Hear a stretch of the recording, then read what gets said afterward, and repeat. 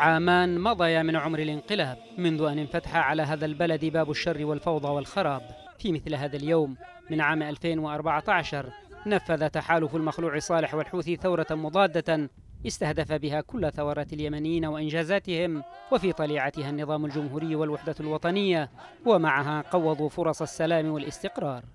وفي ظل مباركة ضمنية من أطراف دولية نفذ الانقلابيون جريمتهم ضد السلام في اليوم العالمي للسلام.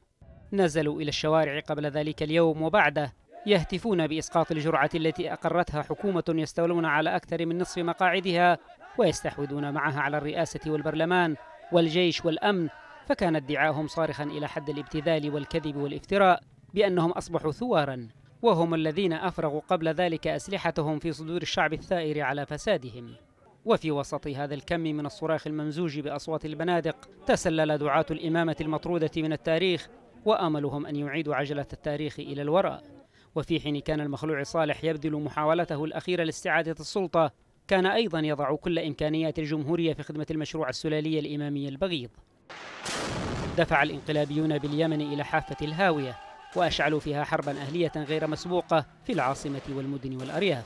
وحصاد هذه الحرب آلاف القتلى والجرحى ونحو ثلاثة ملايين نازح.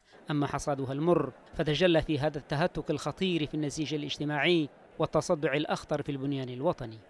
وبعد أكثر من عام ونصف على قيامة اليمنيين في وجه الانقلاب مسنودين بجيران متوجسين من حضور عدو طائفي إقليمي بغيض في خاصرتهم تغير مجرى الأحداث فالدولة على وشك أن تعود. والانقلابيون انزووا بمشروعهم في هيئة سراق لا أكثر.